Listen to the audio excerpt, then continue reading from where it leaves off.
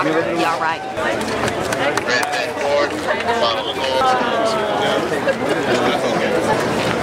That's my cell phone. Okay, calling you right.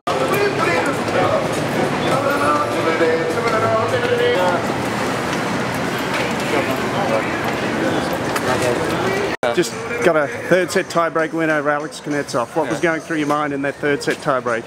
Just not to make any errors, make a lot of first serves, and just you know try not to give any free points. You know, it's tough after playing two and a half hours. You want you don't want the deciding point to be an error. Uh, must be an emotional win for you, I assume. Some friends and family in the stands tonight. Yeah, it's great. I have a lot of friends here in Atlanta. My wife's here traveling, and uh, the stuff Alex and I play each other so many times. It's always a battle every time. So I knew going in it was going to be tough, but it's uh, feels good to get through it. That's for sure. And this is one of the more unusual victory walks back to the locker room in uh, Yeah. in tennis. What do you make of the venue here at Atlantic Station?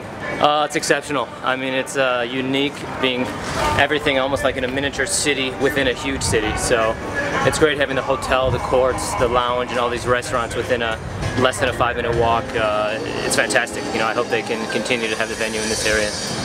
Congrats on the win tonight, mate. Thank you.